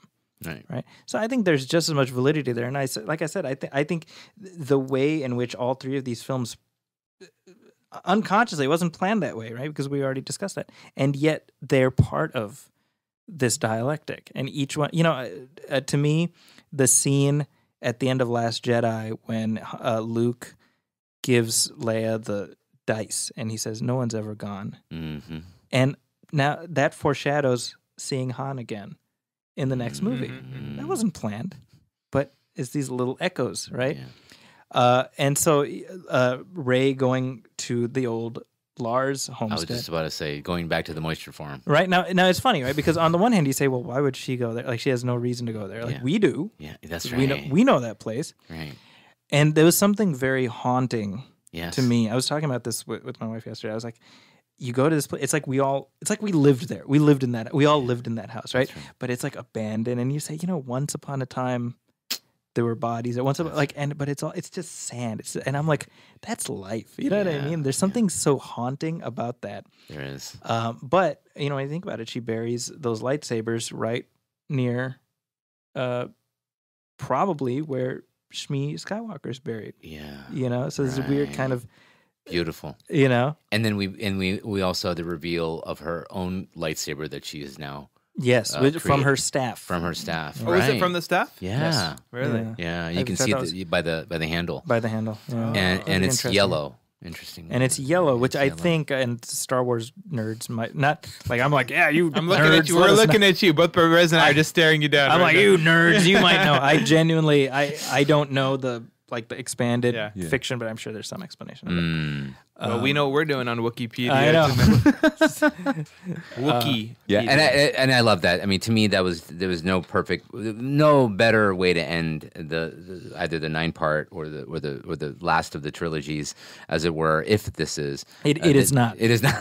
So let's let's rank. then Quick- to quick- go back quick rank. to the uh, to to the Lars. Let's rank. So Omar, Omar, yeah. you you start. Okay. That's right, because you love lists. As I, long love, as I've I known do you. love lists. And okay, so I'm gonna say, and, and I'm gonna caveat this by saying, even as I am speaking right now, I'm it, I'm I think we're getting to the point where, it's just, all, Reorging your where it's just all Star Wars, agree and that's with- a I great that. thing. Yeah. It's a great thing to not have to rank them and just love love every episode Sure. as it comes, right? Sure. Uh, but if I'm gonna rank it, I'm gonna say Return of the Jedi. I know it's not perfect, but it's got that. Just Yes. the last third of it is just perfection for me, uh, and it's like it, it captures that youth, Yeah. right? Uh, Empire Strikes Back, Rise of Skywalker, Wow. A New Hope.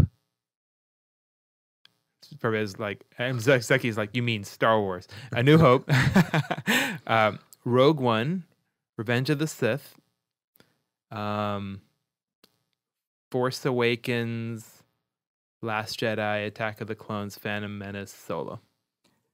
That's a lot of Star Wars movies right Yeah, there. and they're all That good. is. I love them all. Yeah.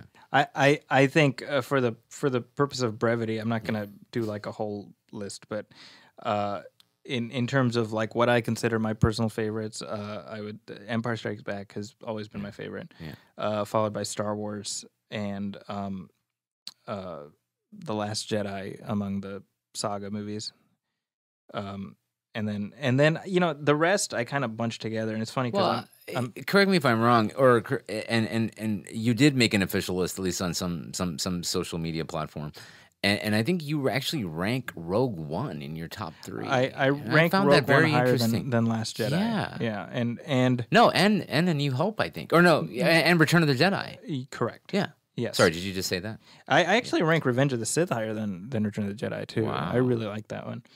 But Rogue One, why? Well, why? I'm just curious. Uh, You know, I think that there's because it ranks up there for me too. It's but I awesome. don't know. It It's is. awesome. It really it's is. I mean it it's truly unlike any other Star Wars movie, right. right? And and you know it's darker and grittier or whatever, but I mean I I think it gives you know it gives a really interesting analysis uh, not analysis sorry an uh, an interesting sort of uh, uh, depiction of the cost yes. of this war So right i mean Unlike we've ever seen. I right think- we I think.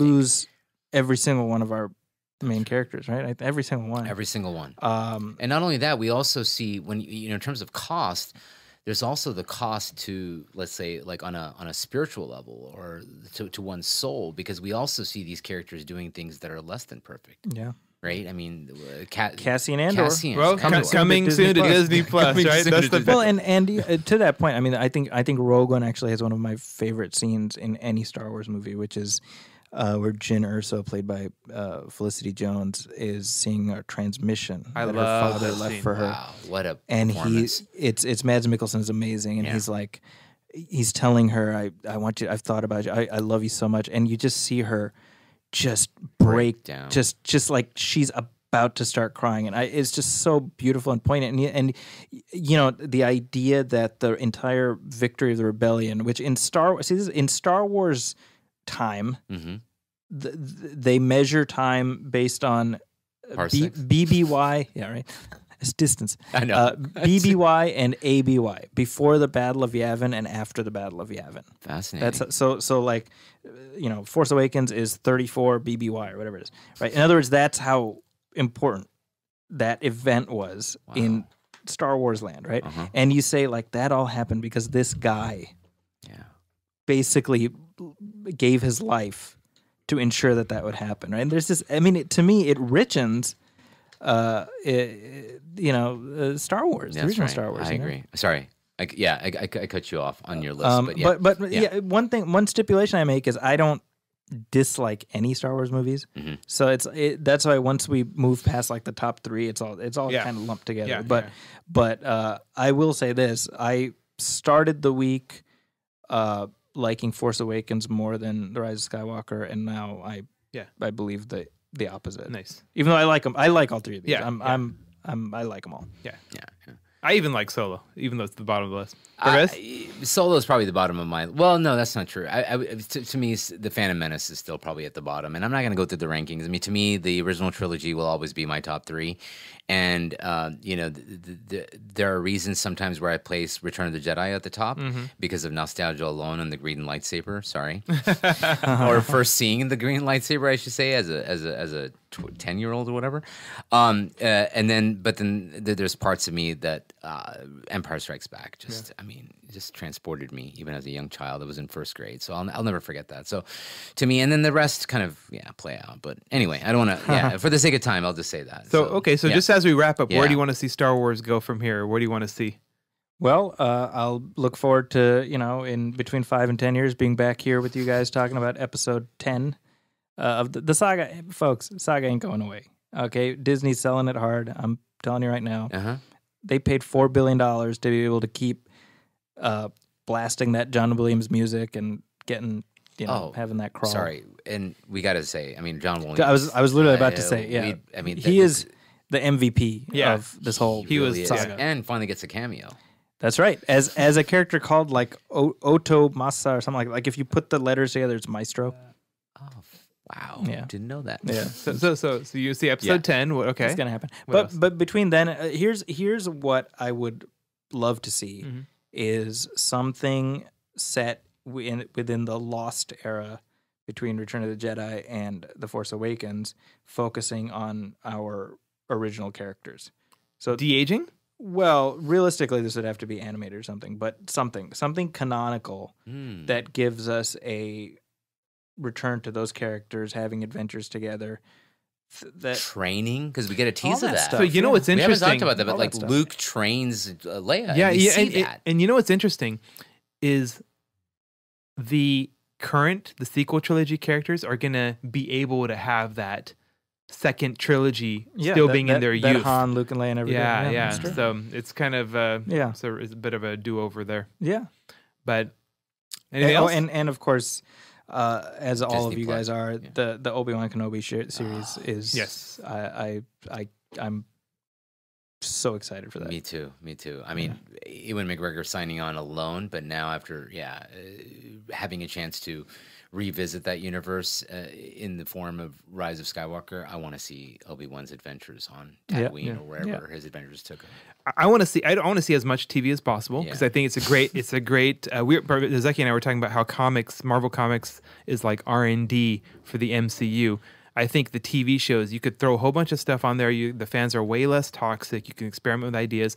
For the movies, I think them jumping around in time and not being chronological got them in trouble. Like going from, uh, you know, post Return of the Jedi to back to pre A New Hope and then Solo. It confused the mainstream.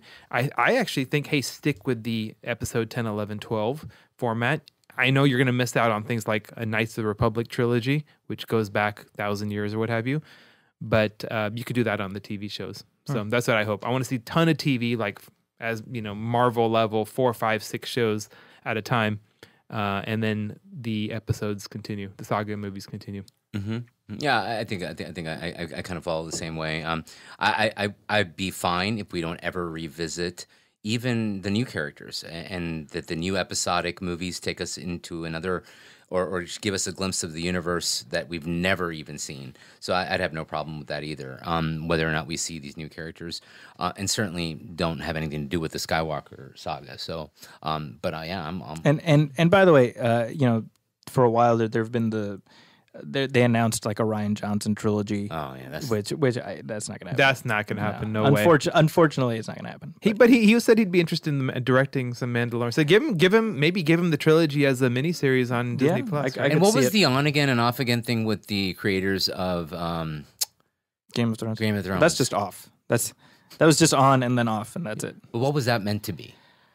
They Knights, said of the, it was Television? some- Knights of the Old Republic. something in that era, something thousands of years. The first like, Jedi. the beginnings Big screen of the Jedi. or Disney no, it would have been a big screen. Oh. There is a Star Wars movie supposedly coming out in December Yeah, it ain't- it 2022. It's not coming out. You think? No, it's not. Gonna You actually think it's going to get canceled?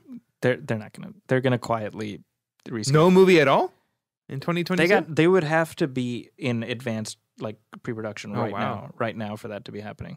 That's that's big. If, if that And- doesn't happen, and, and I know you're you're all like like you're all, all in tune with the mojo, but um, how's the how's the? I mean, we know how it's doing critically, but commercially, The the movie. yeah. Well, I mean, what I read is, it, you know, it had like a hundred and seventy-five million dollar opening weekend Because we're recording this on Monday night after, the weekend. opening weekend, right? So so that's a drop from uh, the first two in this trilogy, right? But I I think I think those those metrics are a little skewed because The Force Awakens came after thirty-five years or whatever it was of build-up, right? Uh, the sequel to Return of the Jedi. right. and and I think this one now Star Wars is a little bit more ordinary, right? Yeah. And so if you say, "Oh, well, this is ordinary," well, 175 million dollars. I mean, that's wrath of God money. You know, that's You right? know, and you know what's that's a- just domestically, but it's already made like 350, 400 worldwide. so it's going to top a billion. But, Chi- well, well, hold on. Yeah. China, forget it. Yeah. It's lost cause because it's already flopped in China. Yeah. However, here's something important to realize is that this past weekend, unlike any of the previous uh, ones recently, uh, it's directly before Christmas. So Saturday was like shopping day. We got two weeks of, of holidays. So the story to look at, like it opened fine. It's nothing to be worried about. See how it does second weekend, and then you'll have a better sense. But I, I would imagine that, you know. But you you know what's interesting? Just going back to the China thing. So China is very very quickly becoming the number not number two but number one. It's going to become uh, the number one uh, market for big blockbusters in the world, bigger than the U.S.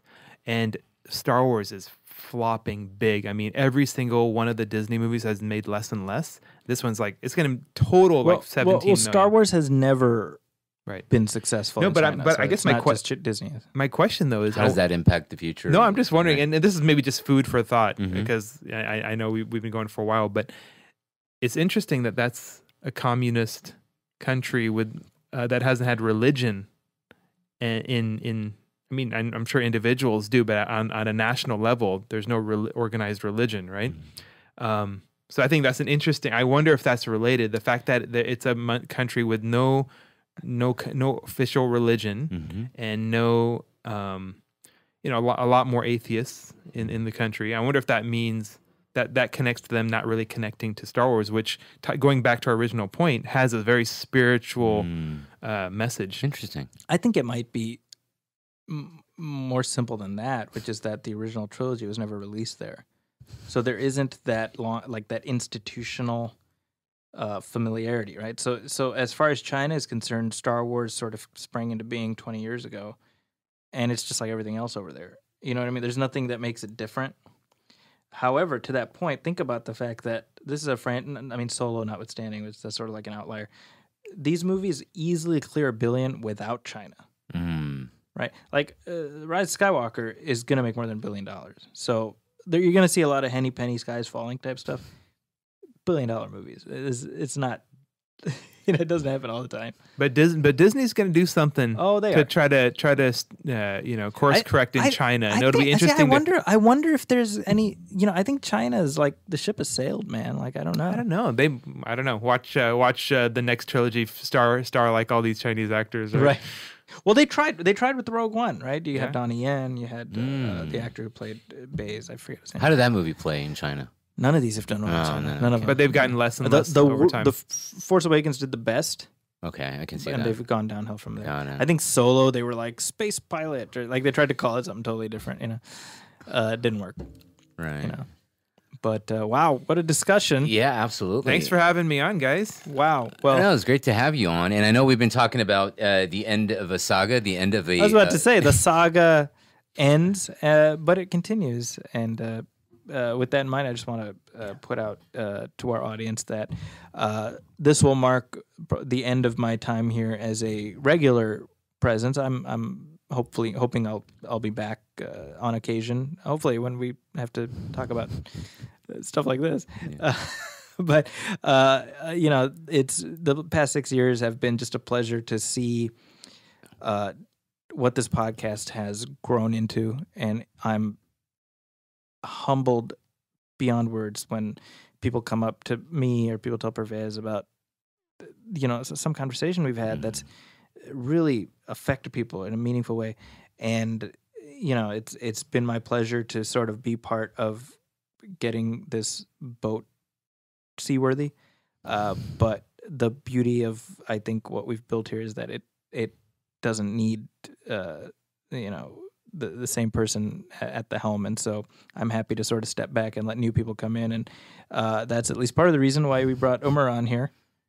That's right. Hey, surprise! well, I, I want to say before we like before we like, yeah yeah uh, talk about Omar or or yeah, tease that or like probably lean into it is it- it's been it's been an absolute pleasure to work with Zaki and I mean Zaki was the co-creator of this show all in all and so uh, I don't think the show could have been what it is you know, to this point, had it not been for Zaki's creative input and the conversations that we've had have been, you know, um, just you know uh, have have just been so much more enriched because of Zaki's presence and, and what he brings to those conversations. So I'm going to certainly miss that voice, um, and I know our listeners are going to miss the voice of Zaki on the podcast. But um, you know, again, I want to just thank you from the bottom of my heart for for for taking the show where it's gone in these last six years and the energy and the input that you've put in. Um, but uh, and and yeah, but absolutely, we'll have you back on to not only talk about film, but anything else that I think uh, where your I think invaluable contribution will be will be really felt. So um, thank you, you know, and I think the listeners feel the same way as well. And um, you know, of course, you can continue hearing Zaki's voice not only as a frequent repeater on this podcast, but also on his many other endeavors that he has out there. Um, but yeah, this was sort of meant to be poignant in the sense that this was sort of the passing of the lightsaber a little bit uh, from from from Zaki to the young Padawan Padawan here to my right, which is uh, Omar Ansari. So. Um, I guess welcome to the show, Omar, officially. Yeah, well, well like uh, thanks for thanks for inviting me, and uh, definitely not not uh, no one even try to fill the shoes that uh, uh, Mr. Podcast Zaki Hasan is. Uh, yeah. Uh, but you know, he he's he's my brother-in-law. Yeah. Uh, he's married to my sister. But and but there will be you know sometimes several days or weeks where I don't see him. But he's always in my car because he's got uh, literally yeah in, in, in fact in the back uh, seat yeah my my, my daughter exactly exactly sometimes i'll leave leave the podcast on and my my my daughter who's his niece will be like that's Zaki uncle. so, um, but yeah, definitely um, been a been a listener of the show, both of you on the show for six plus or how many ever years, right? Four years or whatever. How long have you been doing the show? Quite some time. There's a huge library of of back uh, of back episodes. Um, so yeah, I'm a, I've been a fan of the show. Absolutely. Um, so and a believer in what you've done, but also excited about what can be done.